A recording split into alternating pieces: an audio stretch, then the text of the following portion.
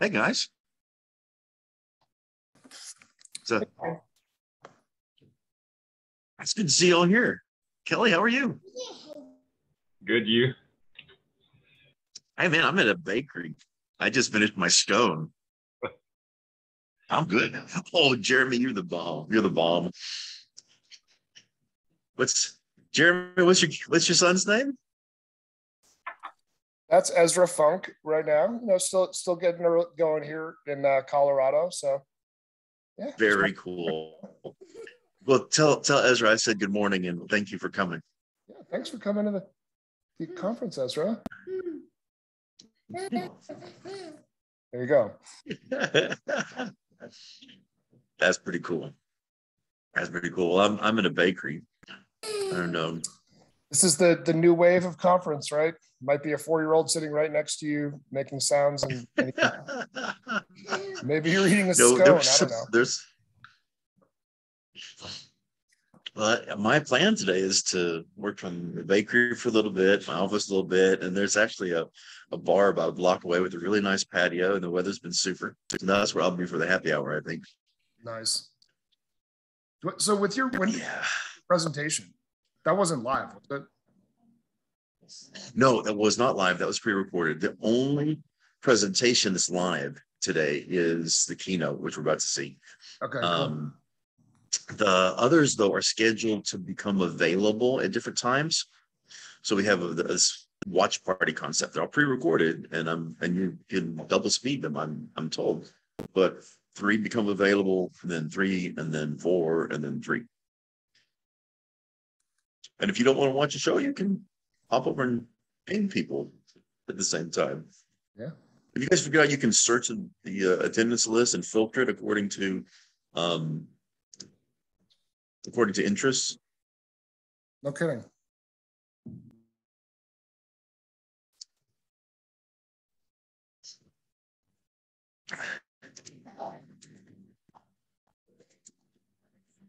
Just I'm pinging somebody right now.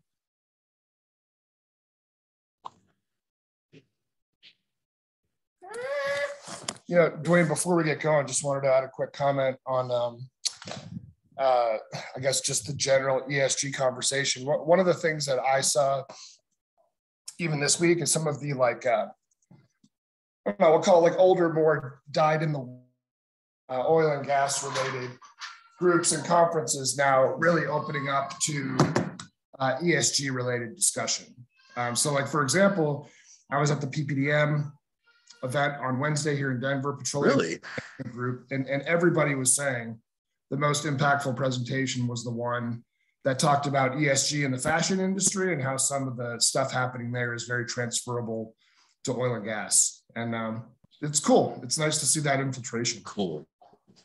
Cool. Yeah. Yeah. No, and I'm, I think that it, it'll be maybe a year before we stop talking about ESG as a separate topic and this is it's just fully integrated in everything we do. Yeah, I agree. In, all the conferences and everything else. Maybe less. Maybe less. Yeah, maybe less. Hey Scott, I'm so glad you're here. It's good to see you. I don't we haven't talked in a couple years, I think.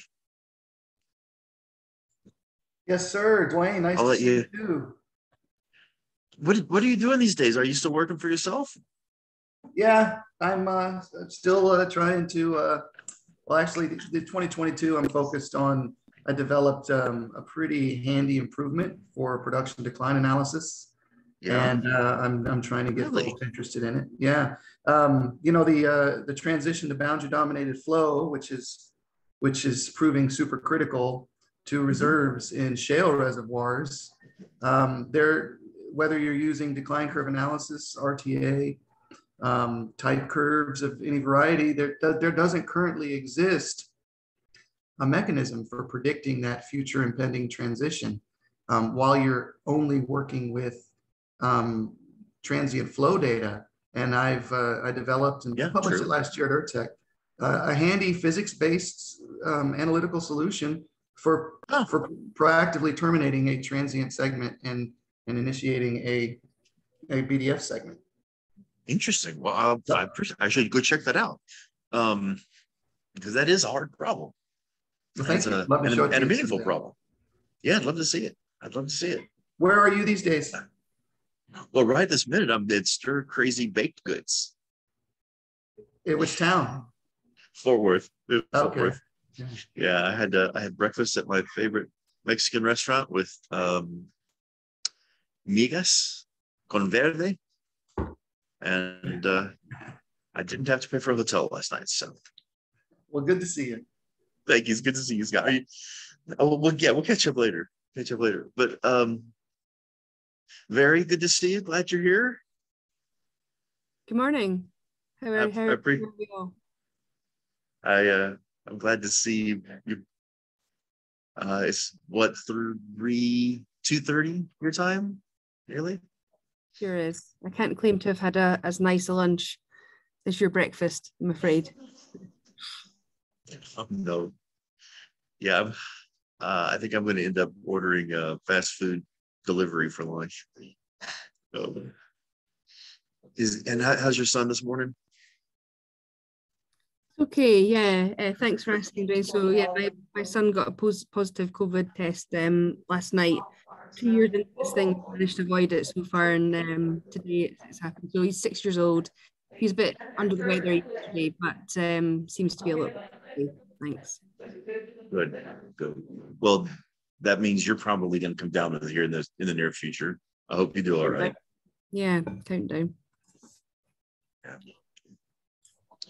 Good morning, Dr. Robertson. Good to see you. Morning, Joe. Hi, good morning, Dwayne. It's a beautiful morning in Mira Vista. Uh, rather cloudy morning here, but uh, that's all right. Not too bad. Yeah, We need the rain. Oh, well, yeah, if we get some rain, that'd be super. My a bunch of my grass is actually dying. That, that may that may be my own fault, but um well, I'm glad you're I'm glad you're here. Thank you for coming. Sure, glad you're looking forward to the day. Uh, have you have you figured out how to uh, search the directory yet? You can go if you go to the directory of people, you can filter by interests, by those color coded interests, and Mhm. then you and search by name, and then you can go back um and and text them, exchange contact information and text them. And uh, so far, no problems with the website. It seems like a pretty good system to uh, look for different sessions and uh, see what's going on. So, so far, so good.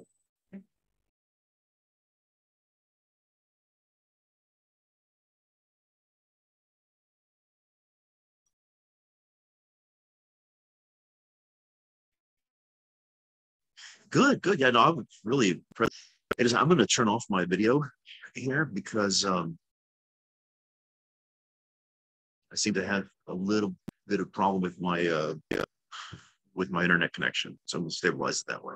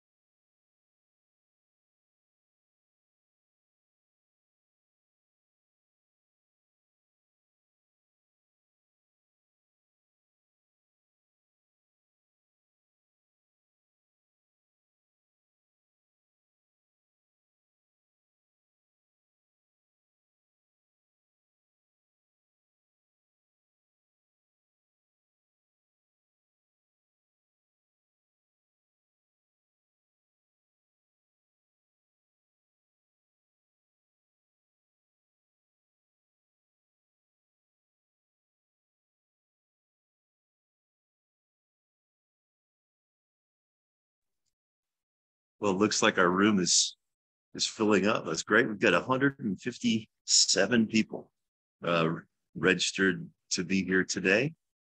Um, and we'll ha- and of course the or this recording will be posted um, as soon as it gets finished processing.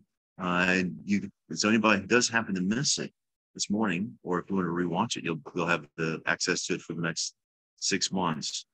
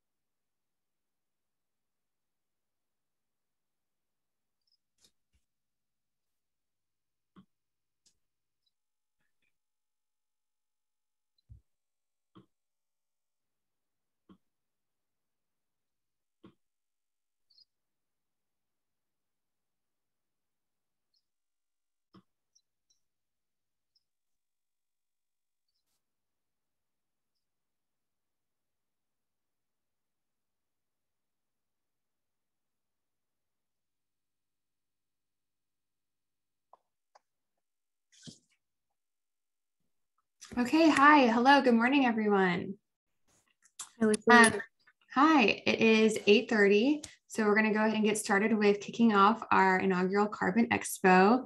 Um, good morning, everyone, and good afternoon to our keynote speaker, um, Mhairidh Evans. She's uh, visiting us from Scotland today. So um, I hope everyone has had the chance to get inside the platform, have a look around, uh, view Dwayne's introduction video, and also to go ahead and create your agenda for this morning. Uh, we will have four watch parties, so you can pick and choose, choose how you want your morning to go. And then as a reminder, all of the recordings will be available after today, so you can refer back in case you miss anything. So Mhairidh is a principal analyst in Wood Mackenzie's energy transition practice. She leads a team of analysts looking at the carbon capture and storage market globally. She provides insight and strategic analysis to companies all across our industry who are looking to understand everything that we're also looking to understand, which is opportunities in the emerging energy transition technology. So today she's going to set the scene by taking us through the bumpy path to net zero, drivers, challenges, and opportunities. Thank you, Leslie. What a, um, it's nice to hear that introduction. And um, let me just uh, start by saying it's uh, uh, my very great pleasure to um, join you today. And uh, thank you to Carbon Expo and in particular, of course, to Dwayne and to Leslie for the invitation and the opportunity to engage with this platform because I think it's um, super, really, really exciting. Um, let me just first a little bit about Wood Mac or, or Wood Mackenzie or Wood Mac as, as, I think most people know us, um, and then I'll go ahead and share my, my presentation. Um, Wood Mackenzie is a, a, global energy and natural resources uh, consultancy and research firm. We provide data, research, insight um, on everything from the primary industries like metals, uh, mining, oil and gas uh, value chain, right through to renewables and power markets. And our job really is to help you all, uh, the energy industry uh, and natural resources industry, to make the best decisions that you can um, when it comes to strategy and investment. So, um, as part of WoodMac, I sit in a division that looks specifically at energy transition issues, everything from battery, raw materials, and circular economy, you know, right through to, to power markets. Um, and so, what I hope to do today is to spend 25 to 30 minutes or so kind of talking you through um, the key issues as we see them we probably won't go too in depth into anything, but my, my aim is to platform the issues that I know will be going into in a bit more depth with the, the other really excellent panel of, of speakers that are, that are lined up for today. So let me go ahead and share my screen.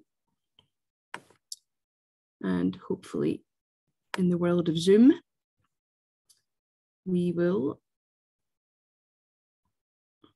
there we are. So I'm going to do that. And. Okay.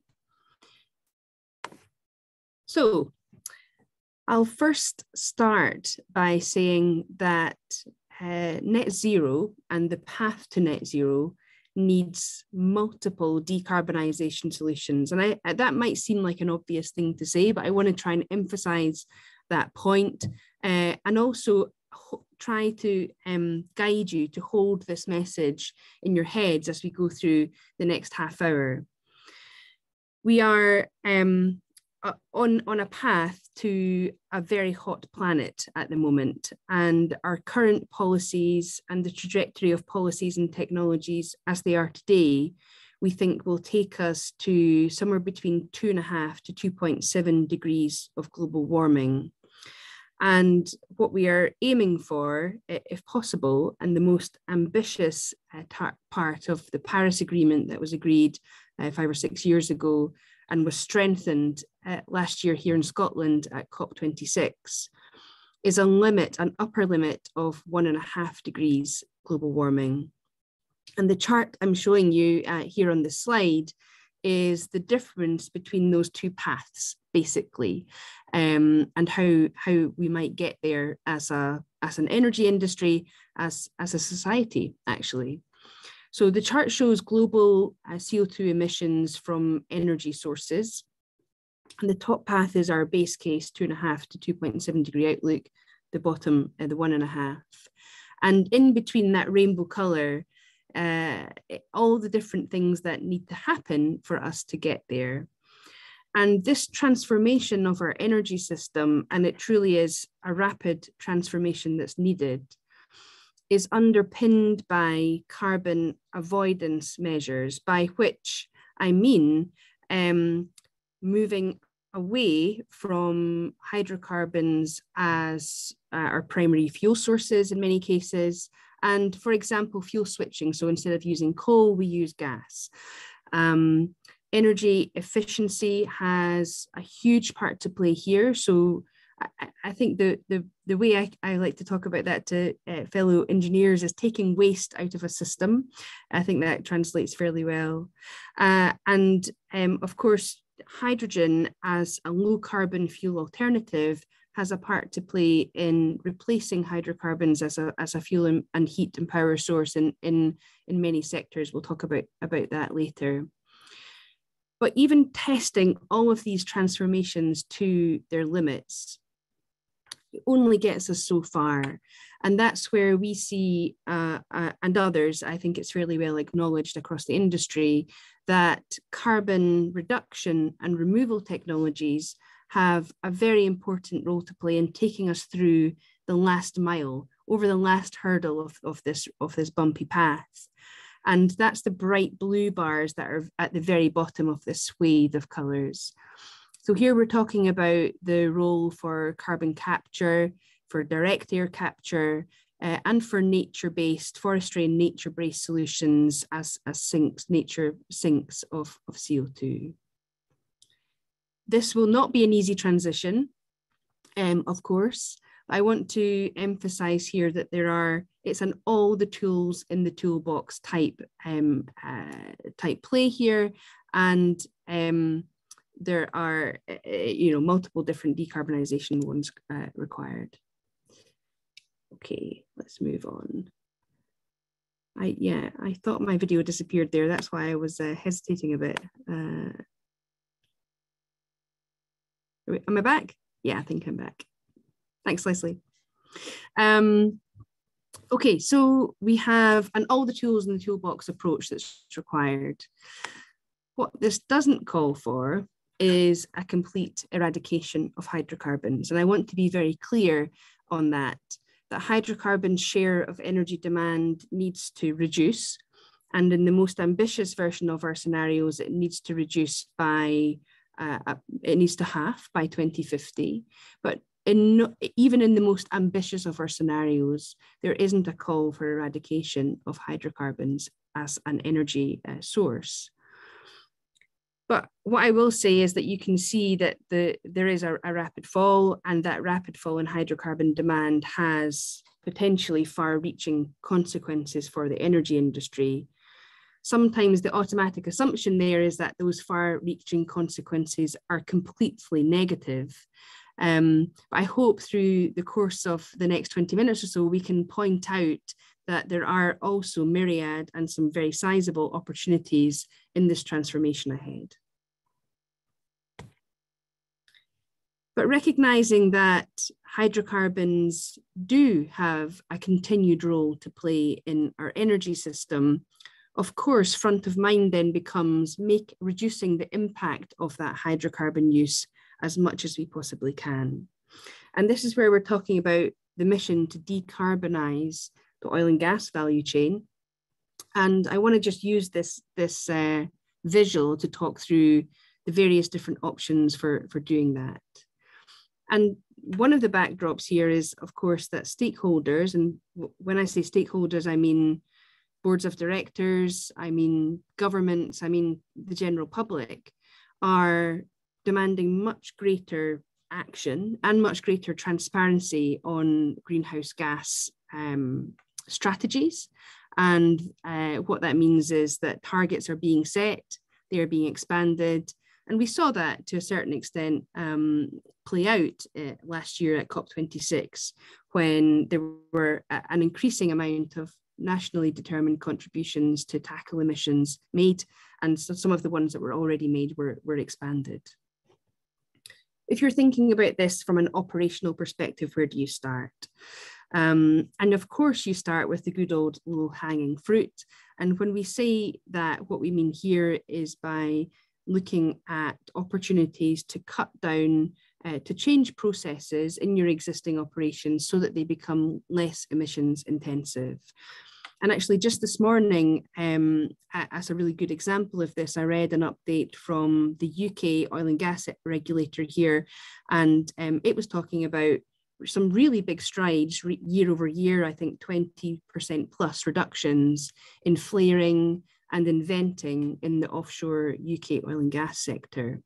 So uh, companies are attacking this now. It is possible and, and progress is being made. And I know that similar um, uh, efforts and impacts are being made uh, in the US upstream sector too. Those are the low hanging fruit because they're kind of immediately available today. They're less costly than some of the other initiatives that I'm going to talk about. And they also, as you can see uh, represented by the, the relative size of the bars here, they also are, are probably relatively low scale in terms of emissions reduction impact. Then if we think about stepping that up and rethinking the way that we power our operations, Um, is it possible to use renewable energy uh, to power our operations? Is it possible to think about battery uh, storage, um, perhaps down the line? And I think we're at very early stages of that journey today, but certainly as we move through this decade and, and into next, um, I think we'll see much more of this. And also, if we just take ourselves out of a, an upstream, uh, perhaps setting for right now, and think about rethinking power in an industrial setting, um, this is where low carbon hydrogen as a fuel with high heat potential can also play a big role. And then lastly, the big strategic projects that can really provide big, um, big impact on carbon reduction removal are things like CCS and integrated hubs, which I'll go on to talk about through the day. So the problem statement here is this all costs a lot of money. Um, carbon abatement technologies like the ones I'm showing uh, on the screen here, uh, low carbon hydrogen, carbon capture at various different um, uh, industry settings, and, and then at the end, direct air capture, are all relatively early stage technologies. CCS has been around for, for several decades, of course, but it hasn't scaled up. So we're still at that relatively embryonic, um, fast forming uh, stage of, of the technology. And it, it's, a, it's still a high cost uh, application. So if companies want to use carbon capture or any of these technologies as a carbon abatement method, they're looking, of course, for the commercial rationale to do that beyond uh, the desire to, to be a better uh, corporate citizen. And in some parts of the world, there are carbon pricing regimes uh, to some degree, but generally speaking, those carbon pricing regimes or, or equivalent, those incentives, are not high enough yet um, to, to bridge the gap between the cost of applying these technologies and the commercial compensation to do so. What that means is that there has to be a lot of effort on the commercial part of this value chain, and this is where we talk about um, creating value. And so the challenge, and I'm going to flip this on its head and say it's an opportunity, is to is to create as a work as an industry to create uh, value and a value chain from CO2. What I'd like to do is just kind of talk you through some of those steps. Um, my video keeps disappearing. I apologize. There we are. Um, so what we're doing here is we're walking through the value chain of carbon capture and storage. It starts, of course, with the capture of the CO2. And we've hinted at the fact so far that CO2 comes from a number of different sources oil and gas production, processing, liquefaction, the use of uh, fossil fuels to create power, so gas-fired and coal-fired power, the use of fossil fuels as a, as a power and heat source in industrial settings.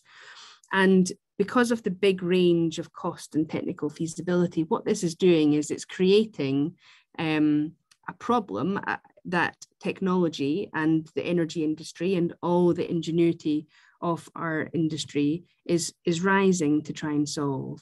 And we're seeing an emerging service and technology industry come to help solve this problem, which is, which is creating value for those companies. Then we have uh, the, the need to, once the CO2 is captured, to transport it somewhere safely. And uh, what this is doing is it's creating uh, a specialist midstream sector, much as we've seen in the transportation of natural gas through pipes or uh, indeed uh, through vessels in the LNG industry. Um, and this requires uh, quite a bit of, of course, engineering know-how, but also the commercial structures for, you know, how and where we transport that CO2. Finally, what we need is a destination for that CO2. And there are a variety of different options here with um, varying permanence, because of course we want that CO2 to be permanently, ideally permanently locked away from the atmosphere, never to be emitted again. So we could look at injecting it subsurface uh, into depleted oil and gas fields, into aquifers, into minerals uh, even. Um, we can inject it subsurface to enhance recovery of oil and gas. Uh, and that's a, a, very active strand of this value chain today because it provides a clear, at the end, uh, commercial rationale. I think what we're seeing is a trend to away from that to a certain extent because of the, the doubt over um, overall life cycle emissions of you know, producing more oil and gas to then be combusted to then produce more emissions, there's a little bit of doubt about the overall life cycle uh, net gain or, or loss of, of CO2 there. And then what we're seeing is an emergence of markets, even though it's very small today, to, to produce and then to sell uh, that captured CO2 into various different other settings, um, whether that's food, uh, manufacturing, chemicals, uh, and so on. So I, I, think we're at the very start of, of, of this becoming a, a, broader value chain. Companies, governments have a, have a big a big role to play here. I hope I've um, kind of spelled out some of the different options for where companies can participate with technology application, um, expertise, and a new business. And I want to just kind of pick up on that point around corporate involvement here. And um, I'm going to try and use the oil and gas majors as a bit of a vehicle to tell this story. And there's absolutely no doubt that companies' allocation to decarbonisation generally and the production of new low carbon uh, revenue streams is, is rising sharply. And I'm sure that you've all seen uh, over the past few years these memes uh, on social media around how it started and how it's going. So this is our attempt at a, a bit of the same. So this chart here that I'm showing is, is and you'll notice a, a few familiar names on there, I'm sure. And what we're showing is uh, in 2019 into 2020, these companies stated allocation budgets on uh, from their whole capital into um, oh, sorry, my video was going off again, into, uh, into new energies and, and low carbon energies. And um, I'm going to just switch on and see how it's going.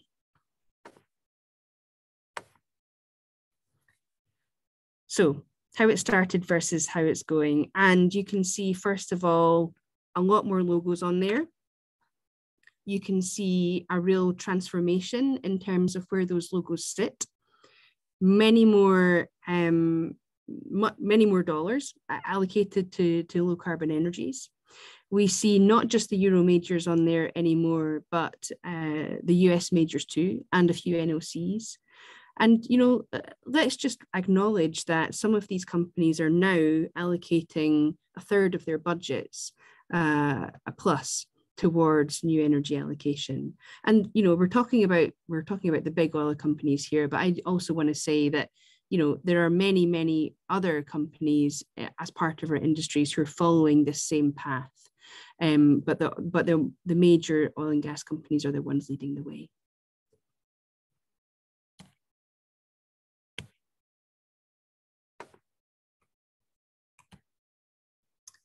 Okay, so that was some big picture stuff. What I want to do now is just talk specifically about CCUS and low carbon hydrogen. I know we have um, a number of really great um, sessions talk, diving into different parts of this today. So this is going to stay fairly kind of big picture and, and high level.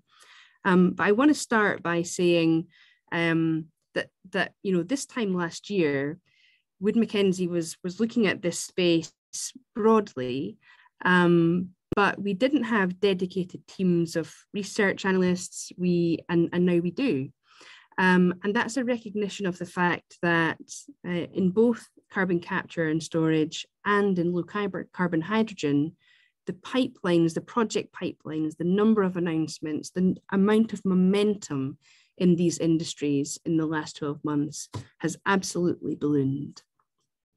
And I think there are a number of different reasons for that. Some of them we've talked about already, the increase in pledges and net zero targets, the sniff of an opportunity um, of a new of new revenues and new business models coming into this. Um, And you know, supportive policies are a very big part had, had a bit, very big part to play here too. So the charts I'm showing you here just show the step up in in how how we've tracked it. So we're tracking projects, we're tracking announcements, you know, line by line, and um, these charts show a, a snapshot of, of what the pipelines represented over the past couple of years. And, um, you know, we're expecting again another step up in 2022, but still we need more.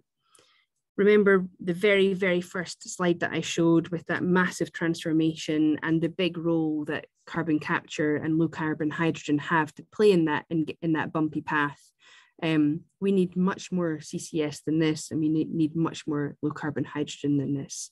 So we think there are very big growth industries to come. CCS is happening all over the world. Um, you know, this time, even this time last year, we were looking at CCS being largely a North America driven story, largely EOR driven as well from through the commercials. And over the last 12 to 18 months, we've seen you know, a burst of new announcements in Northern Europe, much more activity and pledges in Middle East, parts of Asia Pacific, Australia uh, really stands out too, as well as, of course, you know, a, a huge amount of, of, of, increased momentum in the US and Canada. So this is a real um, diversity story in my mind. And, you know, who doesn't love diversity? But, you know, diversity as part of an industry, especially an emerging industry, I think is a hugely positive sign that we're seeing true momentum around this. And it's not just geographical diversity we're looking at here. We're talking about diversity of the industries that are looking to apply uh, CCS as a carbon abatement method. And Let me just step you through this chart quite briefly. So we're looking here at announced projects, planned capacity um, for, for carbon capture. And on the very left-hand side, we have the capacity in CCS that's operational today. Um, it's just north of 40 million tonnes per annum. That's less than half a percent of the global uh, CO2 emissions globally.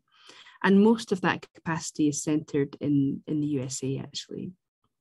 It's very focused on decarbonizing high CO2 natural gas.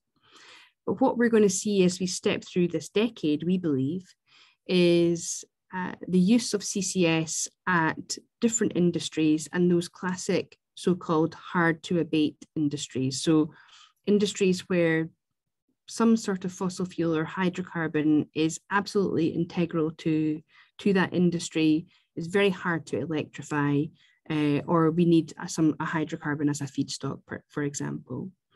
So we're going to see CCS applied in power, uh, to, to talk about hydrogen production. We'll talk about that in the next slide. Um, we're going to see it in steel, in petrochemicals, in cement production. And I think, again, this is a, a, potentially a, a, sign of really good progress for, for the CCS industry. I mentioned hydrogen just there, and I, I want to just kind of spend a moment to talk about hydrogen because it has its very own value chain that is quite complex actually and, and a bit different. And even though, you know, often we think about carbon capture and storage and hydrogen as, as two parts of an industry that are quite joined at the hip, you know, very much interlinked, there are different drivers for the industry. So, you know, when we talk about the production of hydrogen, um, there's a lot of hydrogen produced today in the world and a, and a lot of demand, and it's needed um, as a feedstock for, uh, for example, for ammonia going into fertilizer, uh, it's, it's required as part of the refining process. But we'll see many more end use sectors and growing demand, growing strands of demand for hydrogen as, as we move through that bumpy path, we think. So the question is, where does that hydrogen come from? How do we produce it? And right now, we produce hydrogen using hydrocarbons, which uh, uh, of course doesn't need to be uh, the case. Um, so what we're going to see going forward is much less um, hydrogen as we know it today, and move a move towards what we what we call low carbon hydrogen. So that's either um, hydrogen produced from natural gas that's then abated with, with CCS, blue hydrogen, or green hydrogen, which is uh, electrolyzed using, using water source. And, you know, I, I, again, I just wanted to kind of pause on hydrogen a little bit to, to acknowledge its, its huge role potentially in, in this energy transition and, you know, very congruent uh, to oil and gas um, skills, investment, infrastructure also. So I want to finish um, today the, the prepared presentation by, by putting a couple of uh, visions out there. So this, uh, this slide that I'm showing is uh, a, a picture of an integrated energy hub. It's from some work that we've done at WoodMac with uh, the UK and Scottish governments to think about, to help them think about investing in a different kind of energy system in the future. It's had some input from the Norwegian um, sector too. And this is an example of a North Sea net zero cluster. And let me just put, point out a few things here. So we have in the offshore, we have offshore wind turbines and onshore wind turbines powering electrolysis to produce uh, green hydrogen, for example. We have them um, also powering offshore oil and gas facilities. And um, this is an integrated symbiotic relationship where different parts of an energy value chain sit together. We also have power stations, uh, fossil fueled fire power stations abated using CCS, that CO2 being shipped and injected offshore, um, and a number of different codependent parts of industry and the energy system living together it feels visionary, it feels a little bit um, far fetched to some people, but this is happening in different parts of the world. And I think that we will see many more of these types of clusters and hubs emerging, particularly in advantaged coastal um, locations uh, where, where there is a need for energy and a need for industry around the world. And I'm just going to finish by bringing it home a little bit, not home to me, but home to, I think, where most of the audience is today um, by looking at applying this same sort of vision to uh, the US Gulf Coast, because I think it's well recognized and now acknowledged that uh, the US Gulf Coast, which is a large area, is um, an emerging hotspot for collaborative carbon abatement methods and could be you know one of these locations where we see one of those visionary net zero clusters in, in the near future and the map I'm showing here just in that panel is, um, is actually a, a, snapshot of one of our tools here at WoodMac called the emissions benchmarking tool, where we're taking individual assets and looking at their emissions. So each of those bubbles represents a refining facility and the bubble size relates to the emissions, the CO2 emissions that that facility has. And i am just showing the, the refining facilities there, but imagine if you can just layering on top of that um, the many different liquefaction facilities that are in this area, new build hydrogen and ammonia production facilities on here. And you can soon start to imagine that there are clusters of hydrocarbon fueled uh, industries that, that there is a strong need for uh, going forward and therefore a strong need to decarbonize and potentially abate using things like low carbon hydrogen or, or CCUS.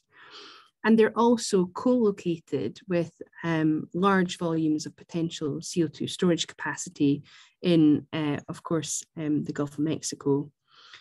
And on top of that, we have the large industry expertise and the infrastructure and the skills and the motivation um, from, from a very strong and inherent um, global oil and gas sector.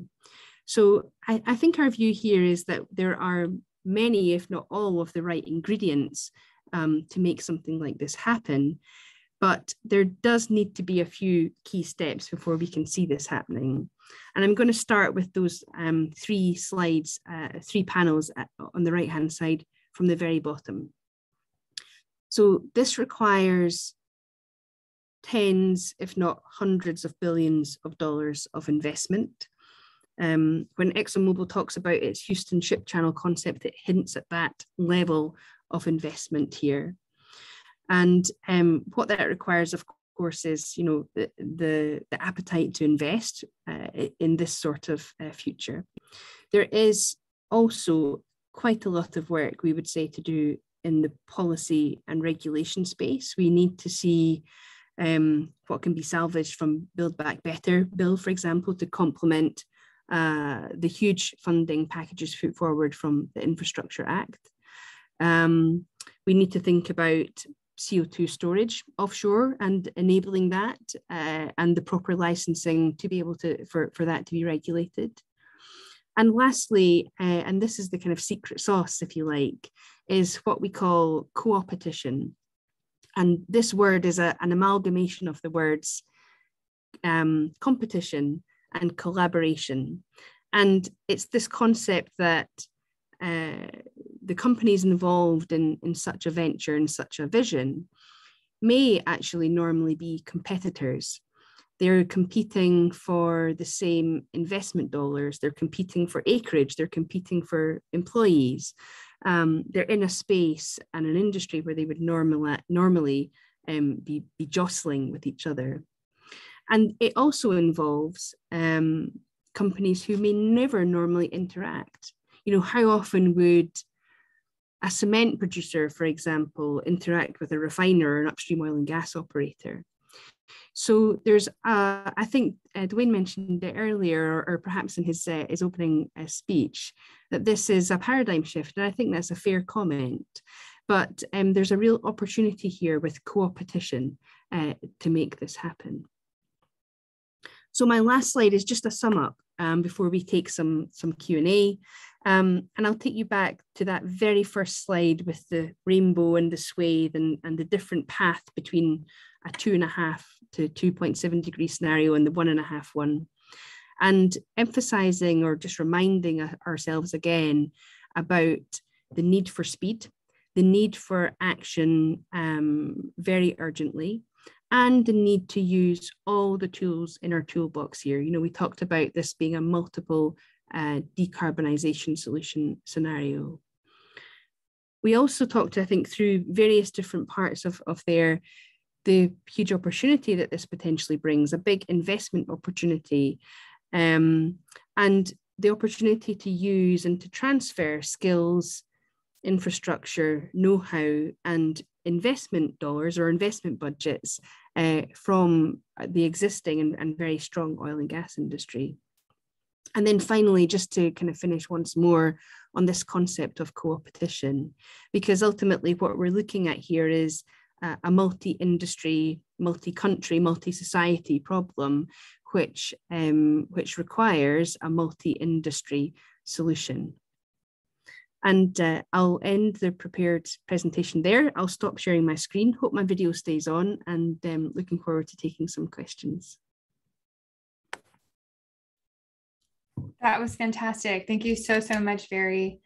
Um, as you mentioned, we're ready to take some questions. We do have one uh, that Joe Schindler has submitted, so I'll go ahead and ask that now. Um, in the meantime, please, yes, you can type them in the chat, or if you feel comfortable, you can unmute yourself, show your video, and you can ask very directly. We'd love that too. So Joe asked, um, isn't it a double dip to get paid for carbon capture and then sell that CO2 later on? You would no longer have it captured. Yes, yeah. So um, I think that's a, a, a great point and certainly one that seems uh, counterintuitive to many members of the public too. You know, we're we're paying big oil to capture and then store and get rid of their own CO2. Um, it seems like it isn't something that that always sits um, completely squarely with uh, with the public and you know many other organizations as well. I think what we're seeing uh, is a trend, certainly in the US and in other parts of the world, where credits or incentives are only applicable if there's a proven permanence to the sequestration of that CO2. Um, and that can be, you know, mostly that is driving towards reservoir storage uh, for non-EOR applications. Um, of course, if you're selling that CO2 then as a revenue stream, then yeah, yeah then it is essentially a, a double dip. Okay, great. Um, and then I personally really loved your slide of how it started versus how it's going. So in that slide, you showed some really good progress, but within those or or outside of those, um, who are you seeing as the key players or the companies to watch? In yeah. Your- okay, great. Yeah, great question. So um, I probably won't go over any of that in the, in the slide because it's clear that you know you know the oil and gas majors are, are leading the way. So outside of that, if I can think about um, you know let's just think about sort of CCS and, and low carbon hydrogen for now there are a number of really interesting companies in the capture technology space.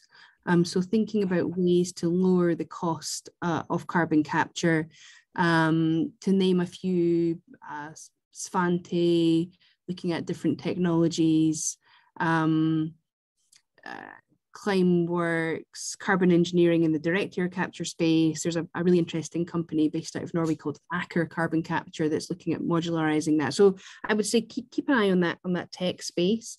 Um, in terms of companies who are really motivated to decarbonize that aren't oil and gas players, I've actually been amazed by the the motivation and the action of the cement industry. Um, so the big kind of top three cement players are all looking at uh, you know low carbon hydrogen use and and and and CCS as abatement options. And you know the cement sector is one of those true kind of hard to abate sectors. Um, and yeah, I think I mentioned it earlier uh, in the speech around this this idea of, of specialist midstream um, and and the emergence of uh, hydrogen and CO2 midstream industry, I think there are, you know, that's a space to watch uh, for sure this decade as well. Awesome. I'm going to do a shameless plug for um, one of our sponsors, Protium. He, they are a midstream company specializing in hydrogen and CO2. So, um, wasn't planted, I promise. yeah. Um, so I know you mentioned direct air capture uh, a moment ago about some technology to really watch for. It does look to be really expensive. Do you expect for it to get any cheaper? Uh, so I think the, the short answer to that is yes. Um, you know, if we if we think about traditional CCS being a relatively early stage um, sector in terms of scale, then direct air capture is kind of even more uh, early stages, even more embryonic. I think that, you know, there are perhaps 15, 20 projects that are underway in, in some shape or form in direct air capture globally. Um, but it is, I think, less than 1% of the project pipeline right now in terms of capacity. So we're still at that very early stage of small scale, kind of looking to scale up into megaton uh, level removal. This decade's absolutely critical for that, I would say, Leslie. And, and there are a number of different, um, you know, as with traditional carbon capture, there are a number of different technology approaches being trialed. Um, and I, I have to say the you know the billions of dollars put towards direct air capture specifically in the infrastructure bill, the US infrastructure bill last year, is exactly the sort of funding package that's required to scale up something that could be actually, you know, really quite um, important in, in the transformation journey. Okay, we do have, thank you for that. We do have one, one question from the audience. Um, how does WoodMac view the commitment of China to carbon management? Just window dressing or as a serious effort? Excellent question. Um, so if we think about um, China's five-year plans and the pledges and the commitments that are within those, um, they are not as explicit as they need to be right now uh, in terms of action and funding packages to, to make projects happen. I would say over the last 12 months, those plans have become more transparent. They have become more explicit in terms of um, developing out hubs for CCS and, and sequestration. There's very little doubt about the fact that there's a huge amount of CO2 storage potential um, within China. And there's also very little doubt that as an end, as a as a as a country with huge uh, potential need for carbon capture because of a, a, a very fossil fuel heavy uh, power sector, power and industry sector, heavy industry sector, that there's a need. So there's the need, there's the potential in terms of storage, but the gap, the disconnect right now is in terms of action to make those projects happen. I think um, we need to see an acceleration if we're going to make make uh, you know that bumpy path happen. Answer. um, another question from the audience. Any idea on how to solve the flaring issue? It's hard because the oil and gas sector looks always to the cheapest technology to implement. And if it was something that requires additional capex, it's cheaper to flare it. Indeed, yeah, and um, and you know we see that in you know pretty much every part of the world where whether there is some barrier to to solving flaring, whether that's you know a lack of gas marketing or as you said the the, the cost to implement those um, those issues you know, I, am going to sound like a typical analyst here when I say I don't think there's one simple solution, but um, incentivizing it from a regulatory perspective. So, you know, a bigger clamp down um, on on it from a regulatory perspective, it is what's worked. I mentioned the stats here in the UK. That that's what's worked. You know, the regulator has taken a very hard stand on that. I should also say that there is clearly um, the emissions trading scheme that's here uh, too, which acts as a bit of a, a, stick in that regard. But I think it, it kind of needs to come from the top because there is no clear commercial rationale for doing that eh, on its own. Yeah, I agree. Um, well, we have about two minutes left. Uh, does anybody else have any last minute questions? Otherwise, I'll ask, I'll ask one more question. Um, uh, let's see. I guess I'm going to ask you a kind of a lighthearted question, but how is the weather in Scotland right now? And have you noticed a change in the winters or the springs over your decades of living there relating to, of course, climate change? Yeah, of course. Yeah, no, that's a great question. So the weather today is what I would call a, a typical early spring day um, pretty bright and pretty cold. Have we noticed the change? Yes, is the is the kind of straight answer to that. We've had um, harsher, you know, less distinction between the seasons. We've had some really harsh uh, storms and weather systems coming through. It felt like we were just in a constant storm uh, for the past sort of six months or so. Um, and the other thing is that I live right by the beach. I, I live right by the coast um, in here. And we're starting to, uh, you know, we're starting to feel a bit worried about coastal communities in different parts of the world. And, you know, probably Northern Europe's the, not a super affected area, but when you live by the coast and you see this extreme weather coming in, it, it, it certainly does bring it home that you know there's an urgent need for for for climate for for for climate impact um, measures and the other thing that I'll, just add that kind of adds to that urgency for, for me personally is um, I live right by the Firth of Forth. If anyone's ever been to Edinburgh, they, they might know where that is. And it's a, a safe harbour region for, for rigs and vessels that aren't working in the offshore oil and gas sector uh, right now. So they come in and they, and they rest there. And uh, if there's ever a kind of urgent reminder of um, what's happening in our oil and gas industry, it's, it's going it's sitting, seeing idle rigs sitting there uh, when you draw the curtains in the morning. So um, yeah, nice question about, uh, about that. Yeah.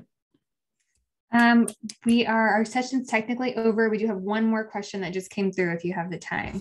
Cool. Okay, yeah. great. It is any thoughts on monetizing gas at the wellhead with hydrogen or ammonia production in effort to reduce or incentive to reduce incentive to flare or vent? I can ask that again if you'd like.